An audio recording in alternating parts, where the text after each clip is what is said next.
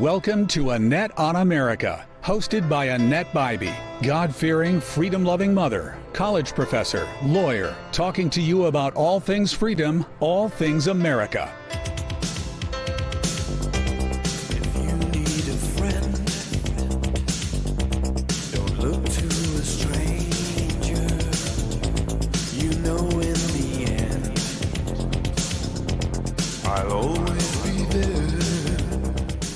Welcome to Annette on America. This is Annette Bybee, recovering lawyer, single mom to two teens and a tween. And it feels like this is like round 20 or episode 20 of what I now fondly think of as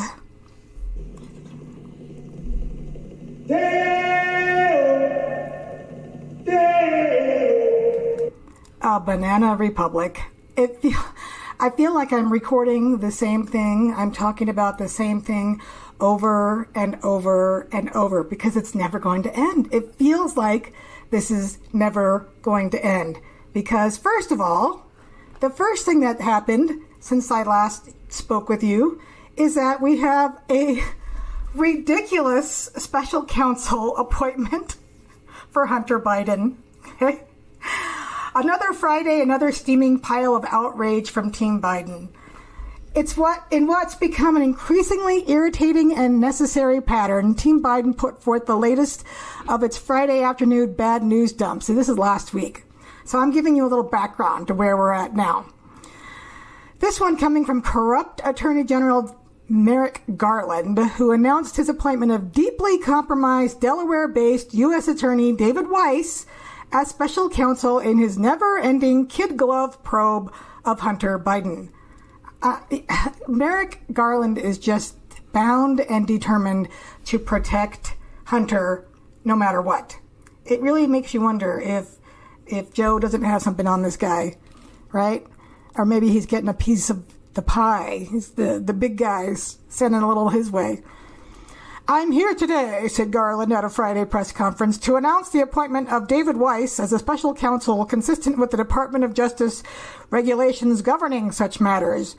In keeping with those regulations, I have today notified the designated members of each House of Congress of the appointment. Just gotta love these announcement announcements, which are so formal and like come across as, oh, I am I am absolutely doing the right thing right now. Right? You can tell by the tone of my voice.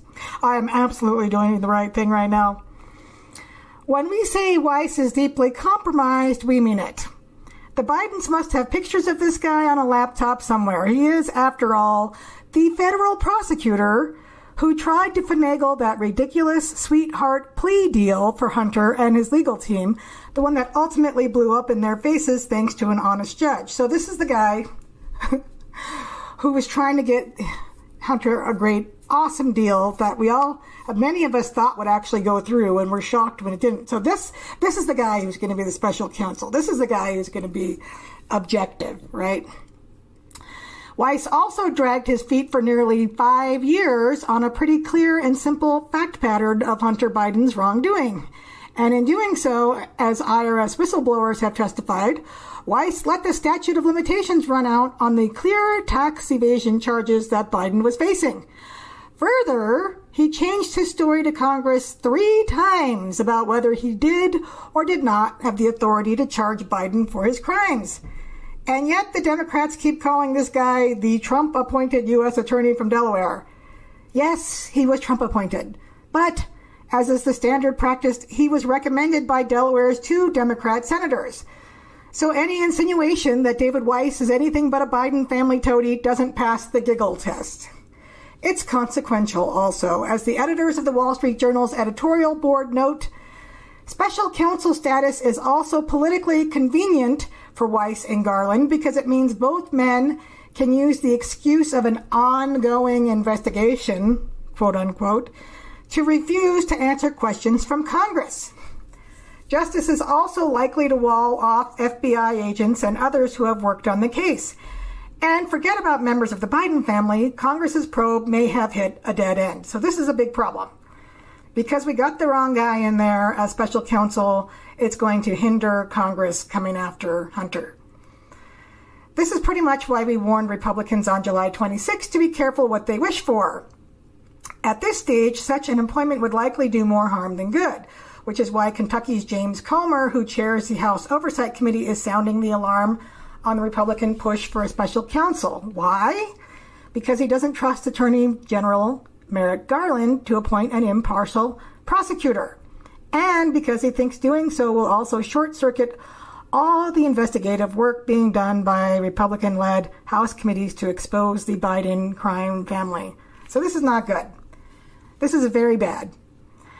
Uh, the truth be told, we were among those calling for Garland to appoint a special counsel, but that was way back in April 2022 before Republicans had taken the House and snatched up the Oversight Committee gavel.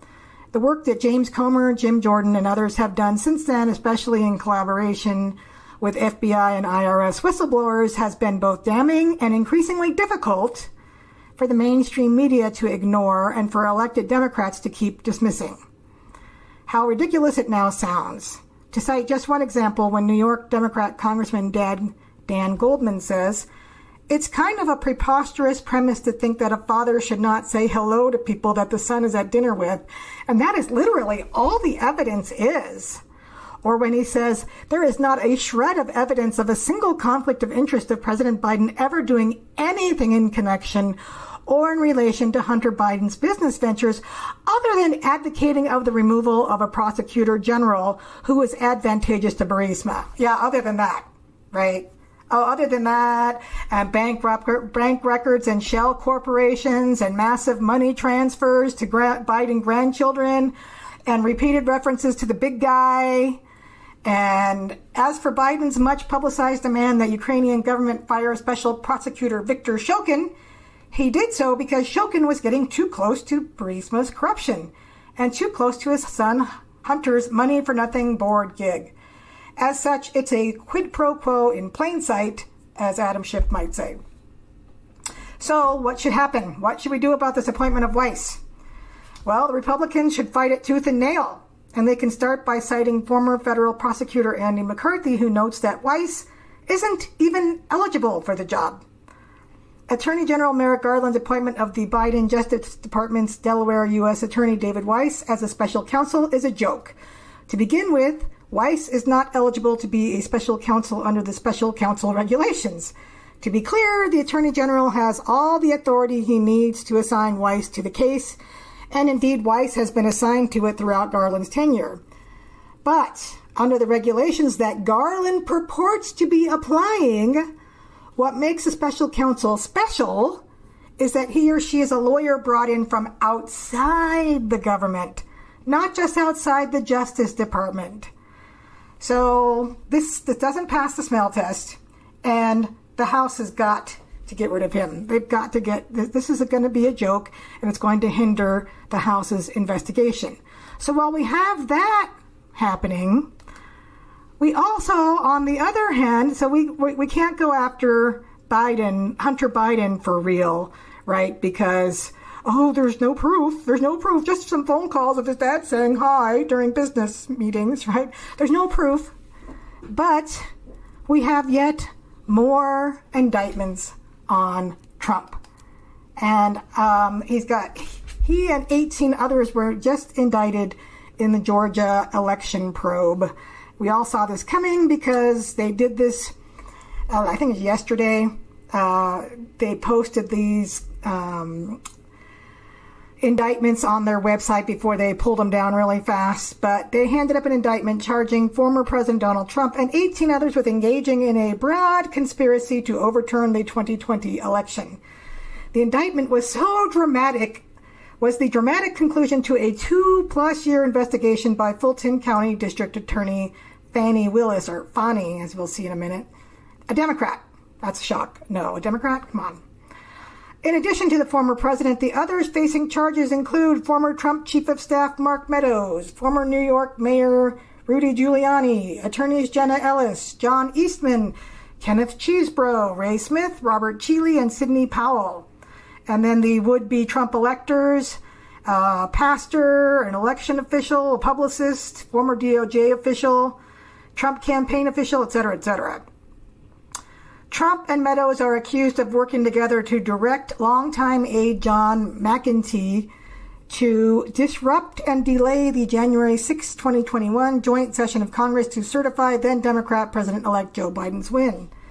All 19 defendants face racketeering charges under the RICO Act, which means racketeer, influenced, and corrupt organizations. Trump also faces myriad conspiracy charges and multiple counts of soliciting a public official to violate their oath. He also faces charges for allegedly making false statements to state legislators and officials. Other charges are related to voting machines and so called false electors. So, um, the racketeering charge carries a mandatory prison sentence. Uh, obviously, the, the left is not going to stop until he is in prison. And uh, the goal here is that she wants to take them to, to court she wants this trial to start in about six months, which is, of course, right during the election. Let's face it, this is all, this is the only reason that she's doing this. This is the only reason that Biden's going after her with his DOJ. They want him to be uh, taken out of the election. Although I have to say, some other commentators say that the left wants him in. So I would say it looks like some want him in, some don't want him in. But um, the other story that comes out of this is that Trump sends out an email about this Fani Willis saying the true Fani Willis. And this is like this doesn't really say much, so I'm not really sure what he was hoping to gain by this.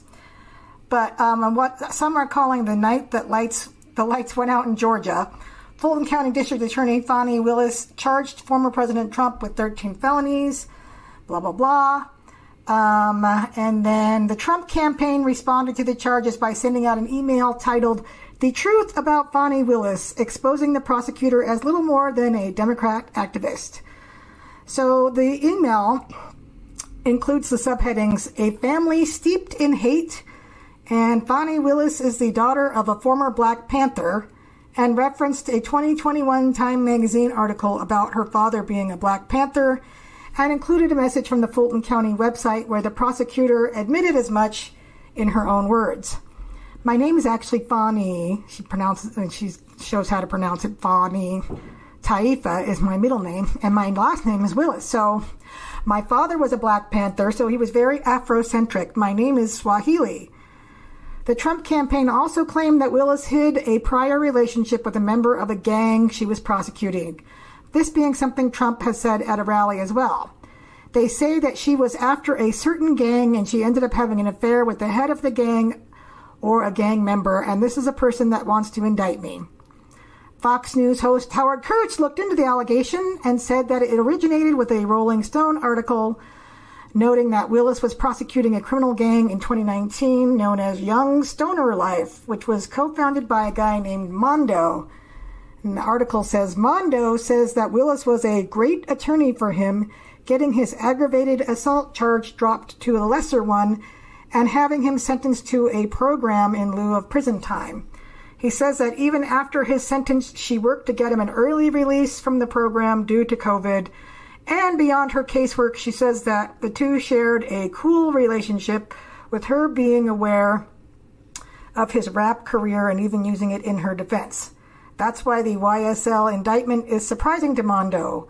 That's not her character, he contends. She's almost like not really street, but understands what goes on, bro.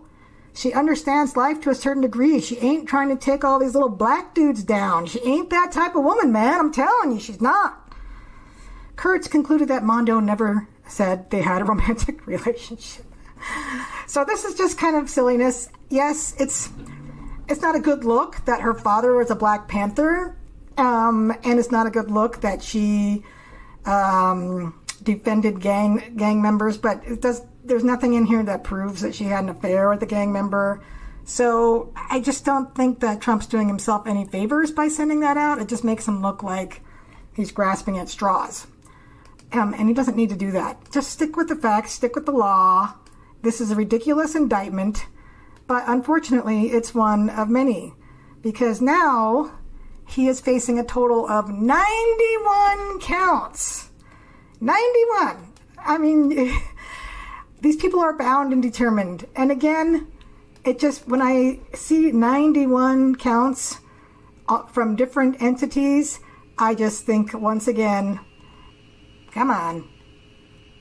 This, oops, it helps when I don't have mute on. Let's try this again. All right. It makes me think. Yes, Banana Republic time again, because why do you need 91 counts in four different cases if you've got him on something? So he's now facing a total of 91 charges across four criminal cases and up to 712 years and six months behind bars if convicted of all of them. Obviously, that's not going to happen, but. Um, the whopping tally of charges includes 13 new raps related to his alleged attempt to overturn the 2020 election results in Georgia. Um, let's see. Let's go back to the other ones. So we just talked about Georgia. Oh, and the, uh, she's giving the defendants the opportunity to voluntarily surrender no later than noon on Friday the 25th. They show a picture of her up there with her goons. They're probably just lawyers, but they look like goons. Um, it just you could just see that this this lady's like, I'm making a career for myself. Look at me. Um, anyway, then you have the Mar-a-Lago Mar-a-Lago classified documents case, right? That had 40 felony counts related to the storage of classified documents, making him the first former president to be federally indicted, right? Um, and then that if that's not enough, we have the 2020 election overturn bid, right? Um, Smith, Alvin Smith, charged Trump with four counts in connection with his attempts to overturn the 2020 election uh, and insurrection, which they it, it, really wasn't, we know. But um, then we also had Stormy Daniels hush money.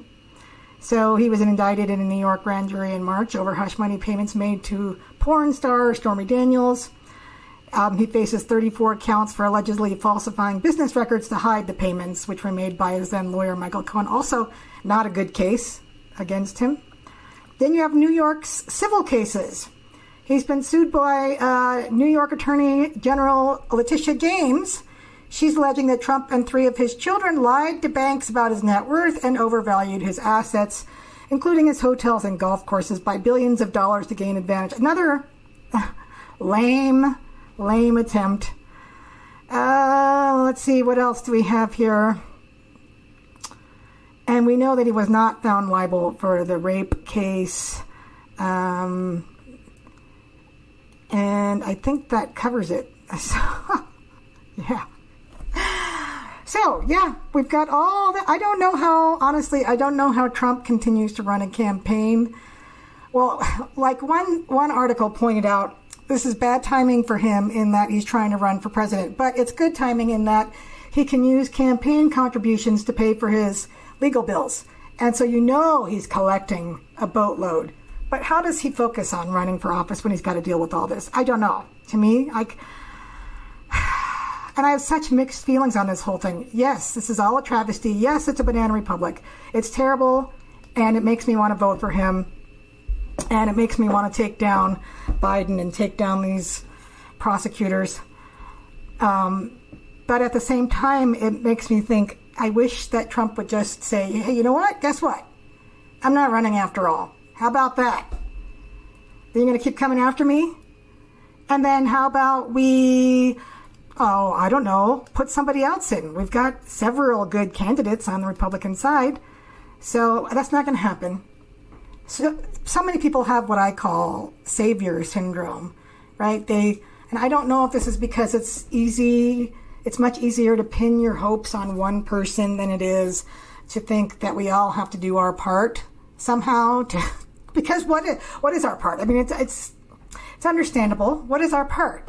I'm always talking about how we have to focus on local elections, which um, is the case. We do need to focus on local elections, and that you know, in my next half hour, I'm going to be talking to a lady who's running for mayor in Pueblo here in Colorado. And yes, but what what then do we do about all this nonsense with all these indictments? Well, I'd say one thing we can do is we can call up our House of Representative member and lean on him or her to get these things um, dismissed. Or let's, you know, defund the DOJ. Let's defund the special counsel, right? There are things that can be done. But I, I think a lot of people have a lot easier time of saying, well, Trump is going to save us. He is our savior. Um, let's let him save us. Instead of, hey, let's get somebody else in there and let's let Trump go his own way. Um, Trump's not going to save us. He's not our savior. He may get elected, he might not. Um, some of the pundits are saying that he's the Democrats are coming after him so much because they want him to run because they're sure that they can beat him. I don't know why they're so sure since Biden is on the ropes. I don't know why, but anyway, speaking of which, so when they asked Joe Biden about what's going on in Maui with these horrible fires, and I think there have been like 93 um, or I guess we're close to 100 deaths in Maui, which is really sad. I love Maui. I went there for my 50th birthday. It'll always have a special place in my heart. But they ask him what, and he says no comment on the death and the tragedy. Why on earth would you this is not controversial? You don't say no comment. You say my heart and my prayers go out to the people.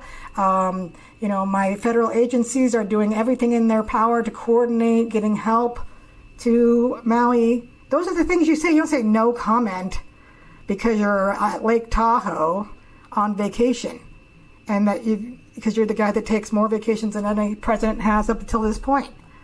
No comment. That's pathetic. Pathetic. I just can't see Trump losing to this guy again. Not when he sunk this low. All right, speaking of which, also he's even actually getting some friendly fire right now on immigration. Yeah, seven Democrats are fed up with the border nightmare and they turn on Biden because of his federal crisis of inaction, which is not surprising because these uh, mayors and governors are all about uh, welcoming all these migrants um, are now actually being flooded with migrants, and they're saying what that really means.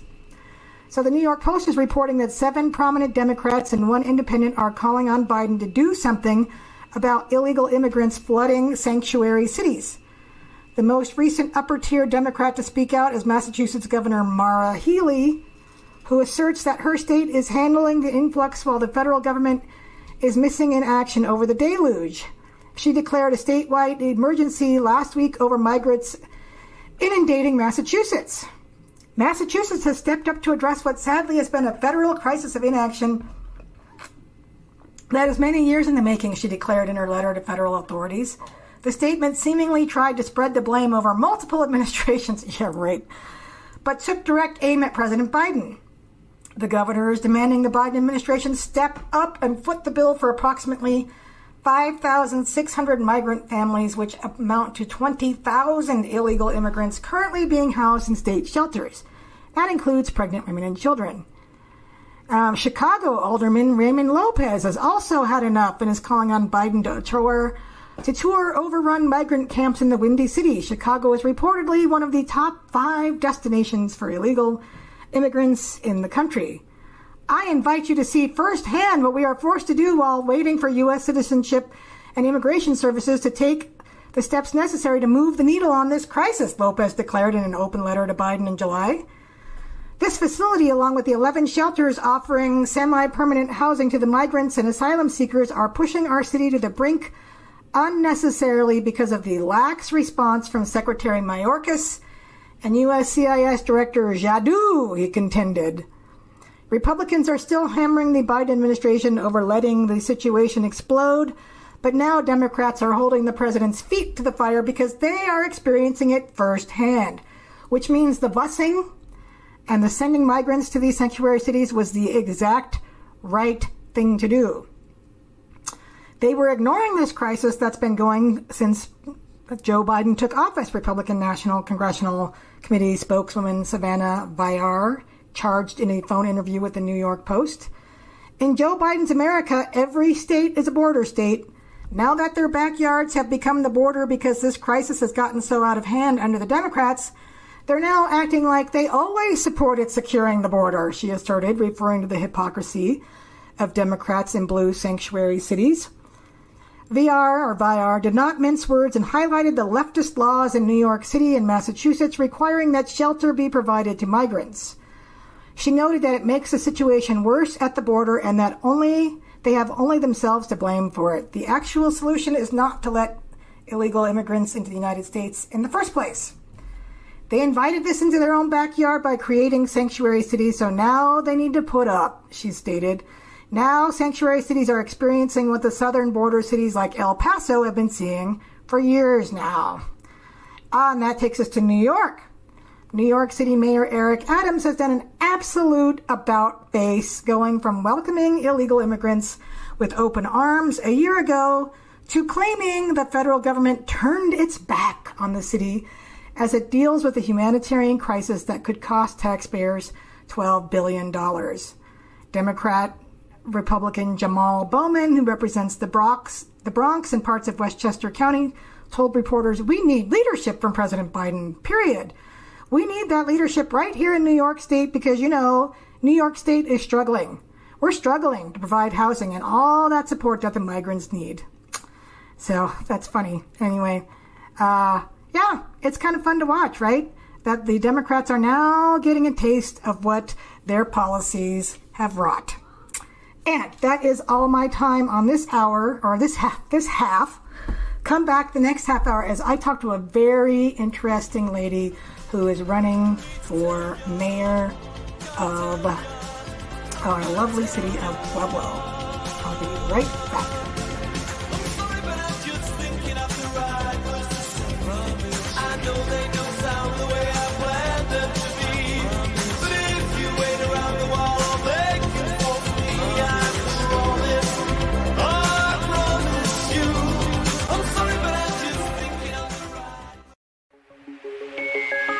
Are you facing a test of your faith? Tests come in two kinds. The devil tempts us to do evil to cause us to stumble. God tests us to cause us to stand. What God wants to do is to make our faith strong and pure.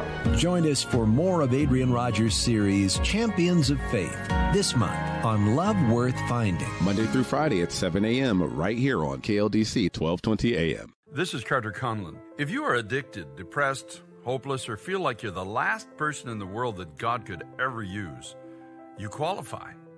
If you open your heart to Him, God will take you, He will transform your life, and make you into the person that He destined you to be before sin got a hold of your life. Your life in Christ will become a standing miracle. You will become a sign and a wonder of the transforming power of God. All you have to do is open your heart, admit that you need Him, and admit that you can't save yourself. God will use regular and ordinary people to preach His gospel in the last days. He's calling you to be His mouthpiece of hope that proclaims the good news of Jesus Christ. Allow God to transform your life into all the things that He's called you to be for His glory. My brother, my sister, it's time to pray. Hide Thy Word in the Heart, the teaching, preaching, and evangelistic ministry of Lifeline America comes to you every first and third Sunday at 2 p.m. Join us as we share revelation from the Word of God. Thy Word is a lamp to my feet and a light to my pathway. The Word of God is the guidelines by which we live. Join us every first and third Sunday at 2 p.m. for Hide Thy Word in Thy Heart.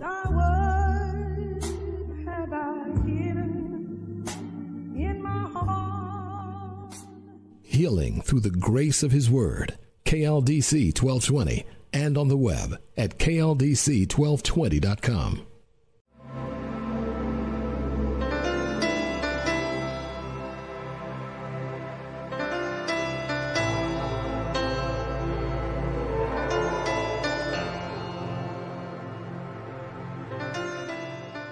Welcome back to Annette on America. All right, before I do my interview with uh, the candidate for mayor of Pueblo, I wanted to talk a little bit about this ridiculous story that I see in the New York Post today. And it's about someone who defected from the U.S. Army to North Korea. I said that right. This is not the opposite. This this guy Travis King, who was at the DMZ visiting, um, bolted from the other side. Uh, this is like a month ago.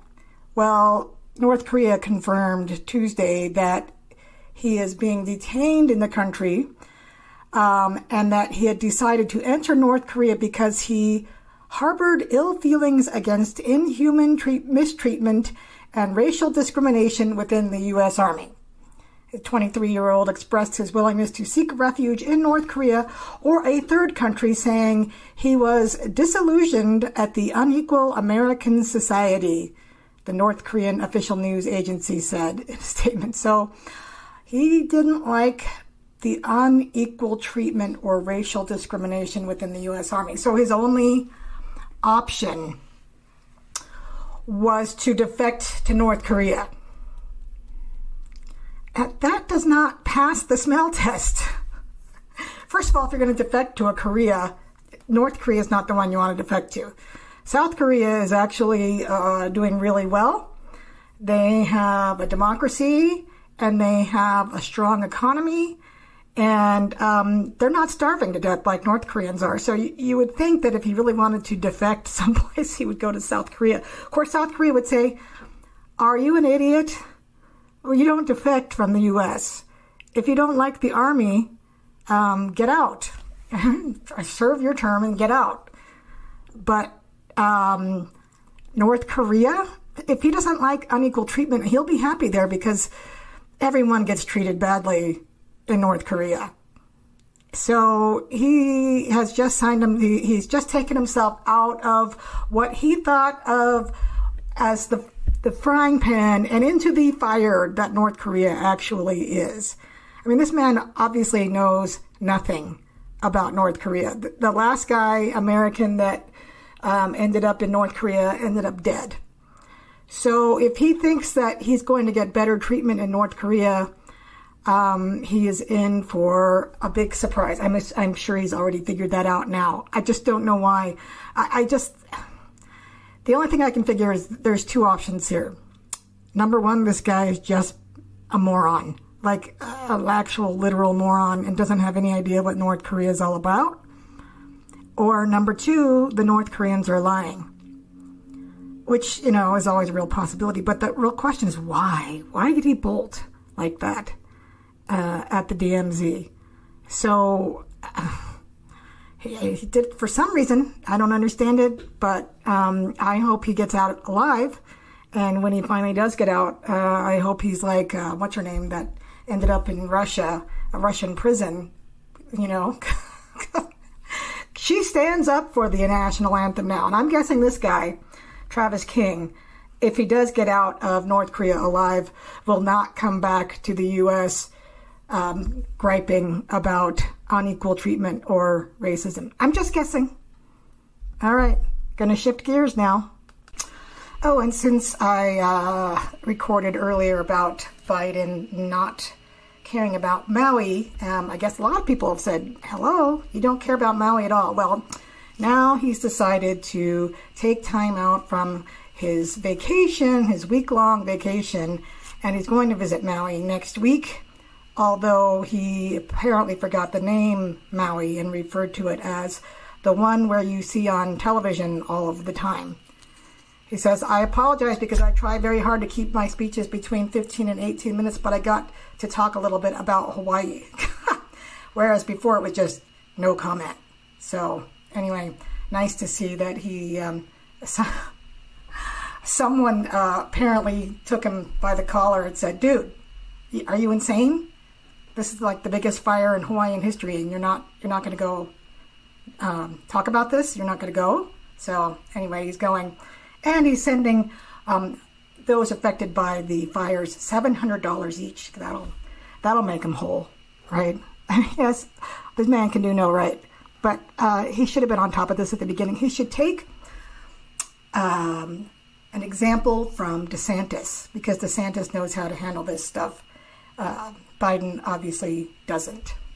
All right, listeners, just as I uh, mentioned the last few weeks, um, voting in the local elections is more important than voting in the national elections, even though we get hyper focused on those national elections.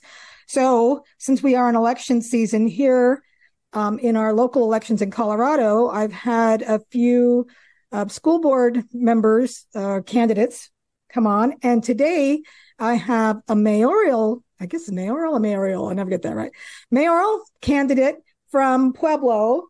And her name is Regina, is it Maestri? It's Maestri, yes. Yes, I got it. Yes. You know, I, my whole life I've been used to get people getting it wrong. And it seems like in politics, they use it as a form of intimidation now by purposely mis, mispronouncing uh, it. Oh, that's um, and what they didn't realize is that this I've, this has been my whole life experience. So I'm not very easily intimidated by much. um, That's great. Yeah, no, if I was intimidated by my name being mispronounced, I would have a lot of problems too. I get BB, baby, and even before mm-hmm. my maiden name, I had they they munched that all the time as well. But um, so Regina, you are running for mayor of Pueblo. And I have to admit, I've never actually been in Pueblo. I've driven by it on my way, you know, down south when I'm yeah. state. But um, so I kind of just have vague ideas of what Pueblo is about. So first, I want you to tell us um, who you are, why you're running, and then let's get into some of the biggest issues facing Pueblo. Okay. Well, I currently I sit as um, the city councilwoman for District One. I can I used to work. Um, I would travel for my work, so I've been traveling coast to coast uh, for my work.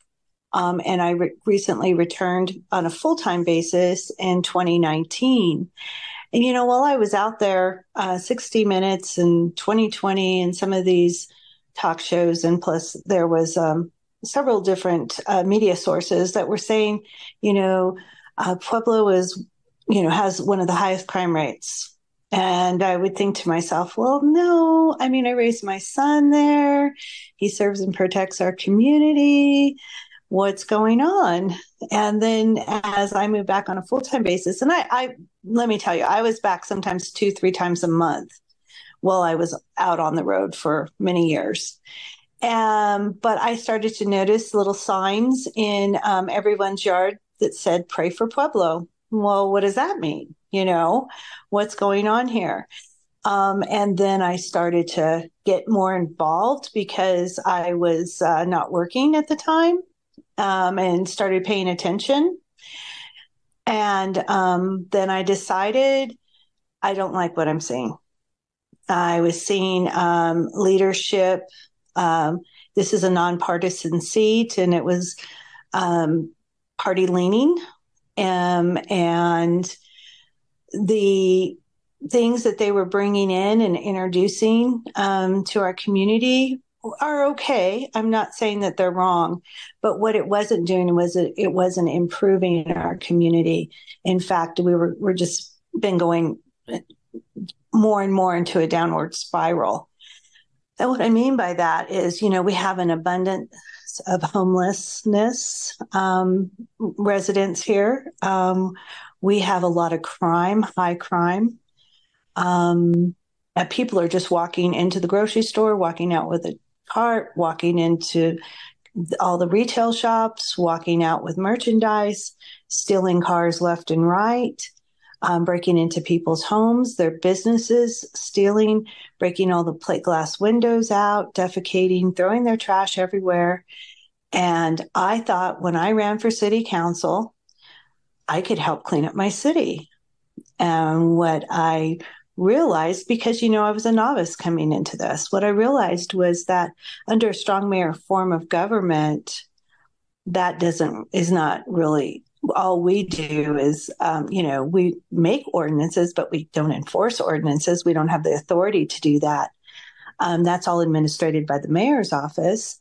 And we're just kind of you know we approve the funding um, with very little information because our attorney um, works at the pleasure of the mayor, our representation, our legal representation, and so does his staff. So we get a l- limited amount of um, backstory on everything that we're voting on.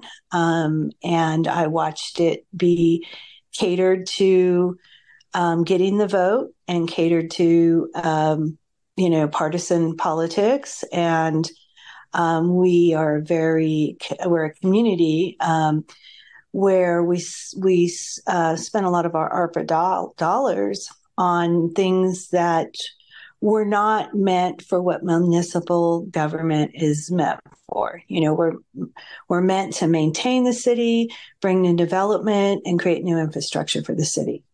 And we're not about social programs. And we have a lot of social programs that are being funded with municipal tax dollars here in Pueblo. And I'm the only outlier.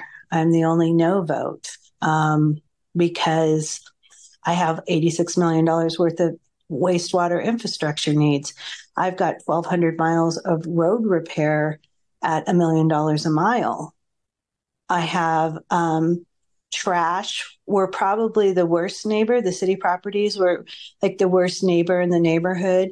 There's weeds, there's trash, there's homelessness, there's people defecating everywhere, there's needles everywhere.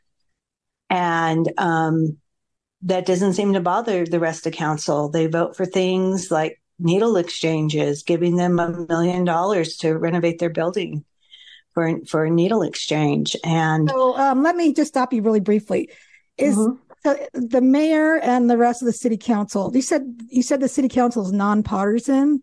Mm-hmm. Okay, but the mayor is a partisan position. No, it is no, it is nonpartisan. Also, it is, but, but but yes, we're all we're all registered to a political party, you know, of one or another, and you have basically two parties there. Um, and see, here's the thing: I think it's ridiculous for it to be a nonpartisan race because it's supposed to give the effect of you know everybody working together. But you know, the voters belong to one party or another of and they and if they don't they lean one way or another. So the mayor um, and the rest of the city council all leans democrat is that right? Correct. There is another uh, registered republican on on there. Um, she ran at the same time i did. In fact she's running for mayor she's a mayoral candidate also. And um, she, I don't know if she understands the foundations the pr- and the principles of conservatism. Um, so right now, you know, she's considered a Democrat, or her her values are considered Democrat values. She just, you know, recently stated that, you know, Pueblo needs social programs and it's okay to have social programs and they're kind of what we're a poverty stricken community. So it's kind of what makes the wheel go round here um, in pueblo. And um, i'm i'm a hand out not a i mean a hand up person not a handout person. And um, i maybe it's just my values or my upbringing um, and i really base things off of our ancestors, the values we were instilled with by our ancestors, coming here to Pueblo, um, wanting to, um, you know, build, you know, build the American dream for their families. We are a community of immigrants from all over. Um, the steel mill brought a lot of the families here. My family came from uh, the plains of New Mexico, um, and then Part of my family came from Italy, Portugal, Ireland. Um, and so here we are. Um, Pueblo is a huge melting pot. And I didn't grow up here. I grew up in um, nor- uh, Northern California, uh, near Monterey Bay, in a small farming community by the name of Gilroy. Um, but my family was originally from here, part of my family. I knew um, my history had to be Italian. So I was waiting yeah. for you to get that right. Yes, and so we. I just want to establish really quick the from what you're describing about Pueblo, and it and it sounds accurate because when I, even though I've never been there, when I think about it and when I hear about it, my the, the biggest thoughts that come to mind is uh, gang activity, drug activity, uh, and so it sounds like you've got there a typical Democrat-run city that is becoming unlivable because instead of getting rid of the homeless problem and, and, and dealing with them in another way other than letting them live on the streets, uh, instead of getting drug use off of the streets and instead of being tough on uh, like stealing from stores, the city's gone in the opposite direction and has basically put in place policies that encourage all of that activity and making it into a city again that's not livable. Is that the ordinances? A lot of the ordinances are on the books. They're just not enforced. Uh. The you know the strong mayor is the administrator. He is the police department's boss, and so the ordinances are on the books, um, and but they're not enforced. They're not enforced. We have um, loitering, defecating, um, littering. Uh, we don't have a no camping. We tried to put a no camping or a no sit, no lie, but we couldn't get it passed mm. On the council. Mm-hmm. Um, you know, they said, well, we don't want to criminalize the homeless. That's the talking point. Um, but the that's problem San Francisco, is how that's working out for them. Yeah.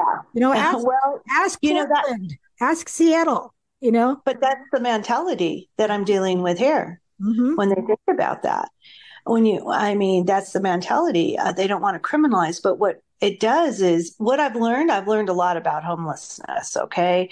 If you are homeless and you want to a home, we have a plethora of nonprofits here that can help you transition off the streets into a home. They help you with uh, drug rehabilitation, mental health, um, transitional housing, employment opportunities. There is help here in Pueblo. And if you don't want to do those things, there's a problem. That's where the problem comes in because we have, they just have, I call it the new Jack City. I don't think I've ever watched the movie, but in my mind, from what I saw, maybe of a trailer or something, it just, I call it, it's like the new Jack City. It's like they have their own laws down there, they have their own way of working down there. It's all drug related.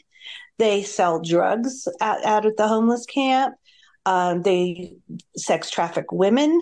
They have, ch- I've, I've taken a child out of there and put it into um, social services um, who actually got into the home where his siblings, four of his other siblings, were have been adopted and lived healthy lives for the past few years, and so he he was related to them, and that family was willing to they're fostering him and that towards permanent um, housing, you know, permanent adoption.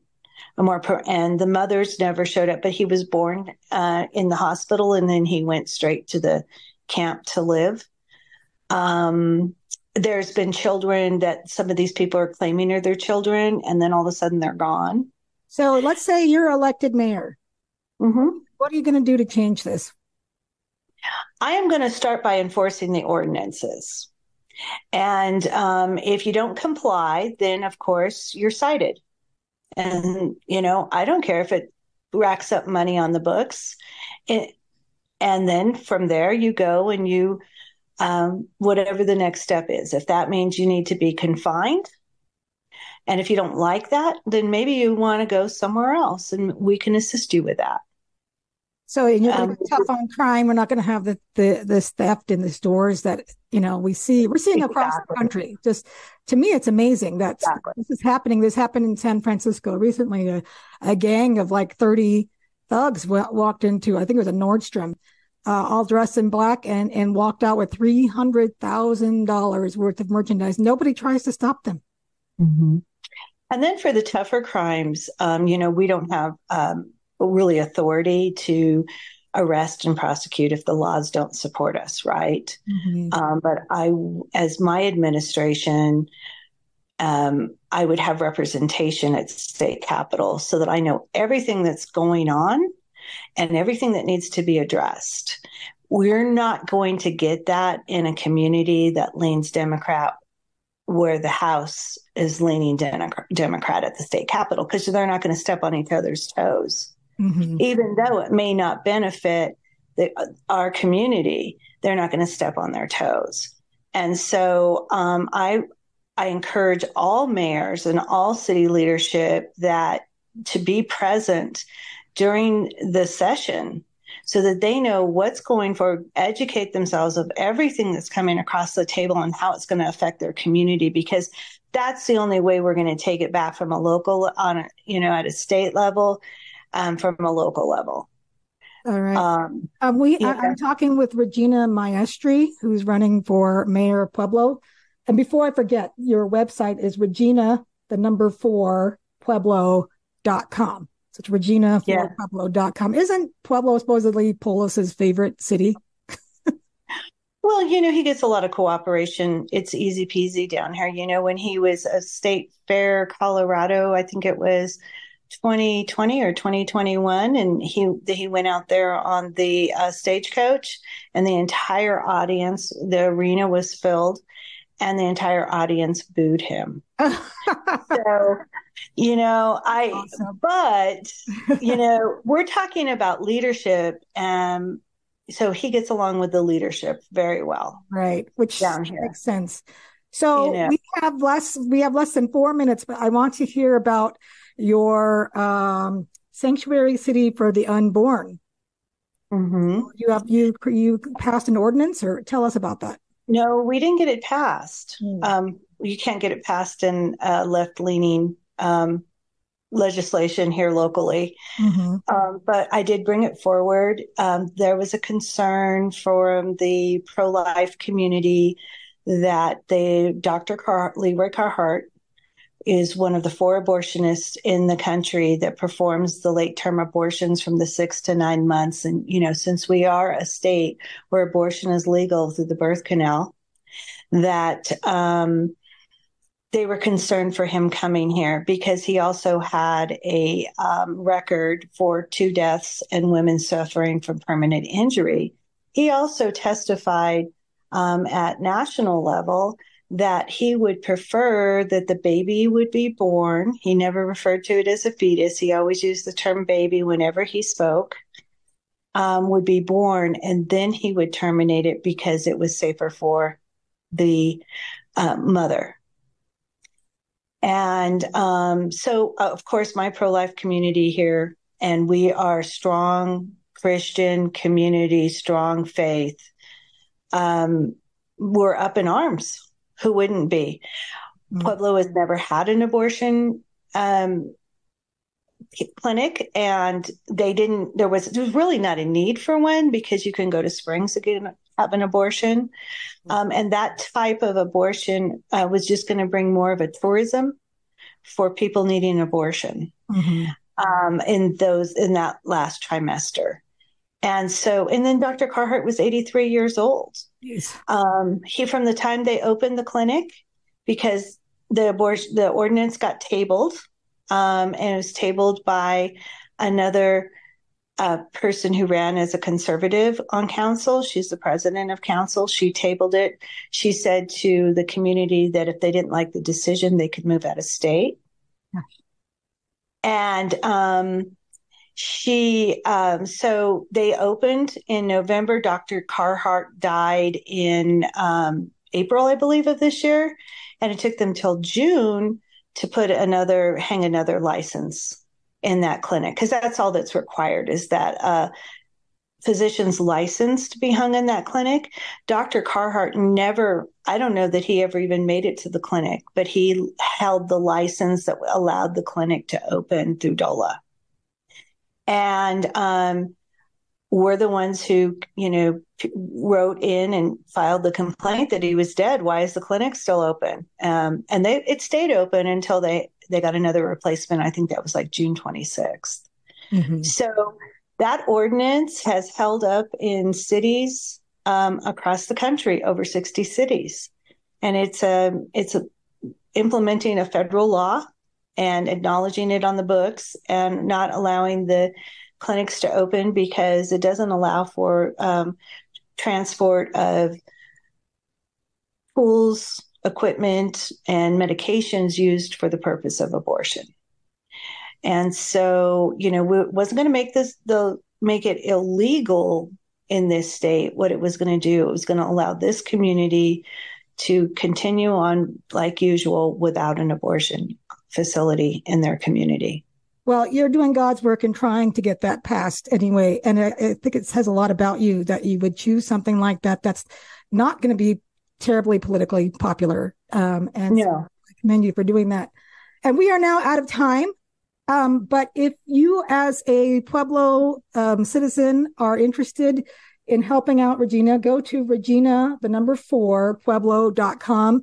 I'm sure she could use uh, contributions and volunteers, um, and she certainly needs your vote. So uh, thank you, Regina Maestri, for coming on, and thank you for your service to the city of Pueblo, and best of luck with the election. Thank you for the airtime and the opportunity to let people hear my message, Annette. I'm really grateful for this. I really appreciate it. Thank you very much. You're welcome. All right. As always, I like to end my show with a news story from my favorite news site, Babylon Bee. Uh, this week, this is right up the alley of what I was talking about earlier. Garland appoints special counsel to cover up Biden's crimes. U.S. In a press conference today, Attorney General Merrick Garland announced he will be appointing a new special counsel, David C. Weiss, to investigate the Bidens and then cover up all their crimes. I have given Mr. Weiss full power and authority to investigate Hunter Biden and the Biden family. We must conduct a thorough investigation so we can know which crimes to sweep under the rug, said Garland. After a thorough inquiry, Mr. Weiss will be in charge of destroying all evidence, bringing no serious charges, and granting Hunter Biden immunity forever. He is a man of the utmost integrity, and I trust him to do this job to the best of his ability. The new special counsel will be given access to all damning evidence of corruption and bribery against the president, which he will retain and then destroy. All remaining witnesses will then be invited to a surprise paddleboarding party at the president's beach estate. Former President Trump, who nominated David Weiss to his DA position in Delaware, reacted on Truth Social saying, Milk Toast Garland has appointed David Weiss as special counsel to investigate Little Hunter's crimes, and trust me, Weiss is not even that special. He's a phony prosecutor who's been hired to totally let the Bidens go free. Sad. At publishing time, President Biden had thanked the special counsel for his outstanding service to the nation and wired him some bribe money.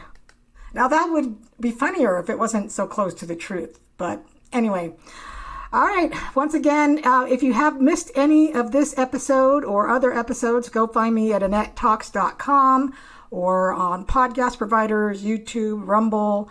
Uh, if you want to advertise on this show, send me an email at Annette at AnnetteTalks.com. Thank you for listening to Annette on America, where freedom lovers gather. Thanks for listening to Annette on America. And join her again next week as she talks all things freedom, all things America.